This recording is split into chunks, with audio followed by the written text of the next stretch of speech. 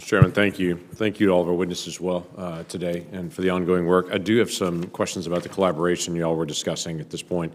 Uh, when I was visiting with some of the folks at our southern border several months ago, uh, there's some of our border stations uh, that we're trying to get counter UAS uh, equipment up and running and operable. Uh, in one of our areas along the border, uh, we had over 10,000 incursions uh, in just that area with UAS coming across the border from Mexico into the United States. And they were very eager to be able to get that. When I asked, What's the issue? The equipment was there, the people were there, they were waiting on authorization, and there was an ongoing dialogue between DHS and FAA to be able to discuss how we're going to get this up. So literally the equipment, the people, the need, everything was there. So my question is about this collaboration, how long does it take? In this particular instance, uh, we had a, a situation where that same equipment along the border was being used in a different region of the border and had been used for a while, but in this particular region, it took months to actually get counter UAS equipment up and working in that area. How do we speed up this process? Where is the slowdown? Senator, um, as uh, noted earlier, I share your concern about uh, the uh, malicious uh, drone threat at the southwest border my colleague from FAA in a moment. As um, you know, sir, uh, the Secretary of Homeland Security has uh, authorized three areas of operations along the southwest border as covered facilities or assets. So we have three up and running, if you will. There are four additional AORs that are pending. We have taken significant steps internally to um, make the process internally more efficient between CBP and the Program Management Office, which is part of part of my team. In addition, we have started doing safely concurrent processes with FAA such that this can move as expeditiously as possible. There are four areas of operations. I don't know if it's one of the ones that you visited. Mm-hmm. Four areas of operations still pending. I will tell you, it is a priority for me. It is a priority for the secretary to get these authorized as quickly as possible. So, what is the holdup? Because this, this is months when that same technology is used in other places along the mm-hmm. border. Where is the spot where it's getting stuck? So um, I'll turn to my colleague from FAA in a moment, but as these AORs are uh, in the process of being offer- authorized, there is uh, a lot of coordination with the FAA and each part, each covered facility or assets are, is different.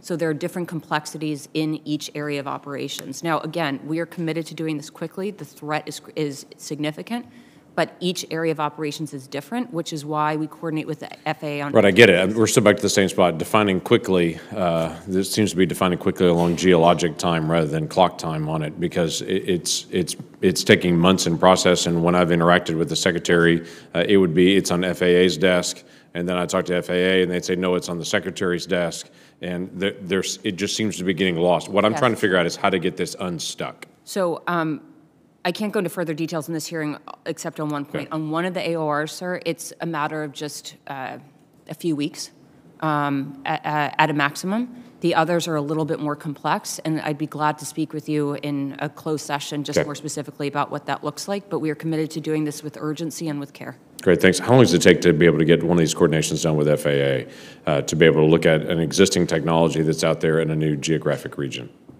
So it, it, it, varies based on the technology and the location and the complexity of the request that we receive. So in some cases, it can take just a matter of days to issue a TFR, but then others it does take longer, uh, depending on what the actual area is and other TFRs that may be in the area.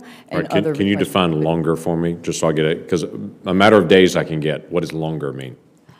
So I'm not in the area of issuing of the TFRs, so it can it, it varies. So like we are working with our security partners now and on, also other areas of the country where they're trying to get TFRs. So it can vary as long as we have the information, working closely with our security partners in getting that. Um, I can't give you a definitive how long uh, because the operations and all vary. Here, here's my challenge on this, and, and I'll just take one specific region in the southwest border. When I go there and I see the people, I see the equipment, everyone's trained, everyone's ready to go, and they're waiting on a piece of paper to be signed somewhere in Washington. I get on the phone and start calling around and saying, Where is this? How do we get this unstuck? Uh, because they're dealing with literally at that point thousands of UAS coming across uh, from Mexico carrying narcotics, doing surveillance. We have the technology sitting there. I'm just trying to figure out how do we get this unstuck? Because it's on someone's desk moving, doing something. if there is a need to assist in process, this committee is very engaged to be able to help get processes unstuck, but we're trying to figure out why it's, un- why it's still stuck. Uh, Senator, I um, try to be in the business of unsticking things as well. And I will tell you that um, for the one that I mentioned that is forthcoming in just uh, a small number of weeks, we are, what we're waiting for in that particular context and, and in others is to ensure that this equipment can be safely used and operated in that airspace. So um, happy to follow up with more details in a closed session, but we, again, deeply committed to ensuring that this first AOR happens in a very small number of weeks, and that the other additional AORs that, again, are just more complex from an airspace perspective are unstuck quickly as well. Yeah. How long has that one been pending? You said the one that's going to get unstuck in weeks. How long is, as, when it first started? I don't have the exact date in front of me, sir, but it's been, um, when you say first started, it's, it- it's, um, it's been uh, just a few weeks since we could move to this next stage of basically um, looking at this particular airspace and the complexities there and ensuring that the equipment could be safely used. But I can get you a more specific answer. That'd be helpful. In writing.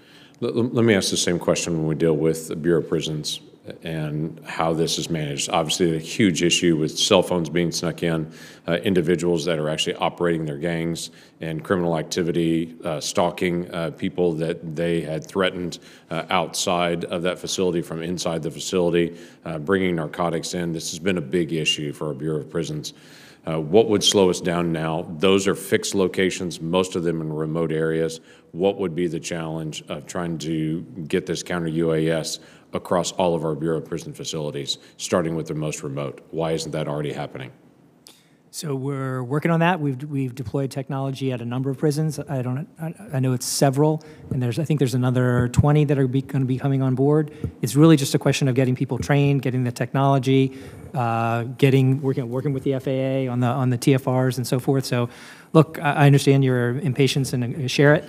Um, so we want to do this because it is a huge problem. The, the, uh, so I share your view, and we, we're working with BOP, which is definitely uh, uh, concerned about this issue. We just had charges this past week in a prison in Texas um, where uh, people were smuggling in uh, contraband into the prison, and that's it's not the first one. There's others. Uh, so I share your concern, and BOP is ramping up.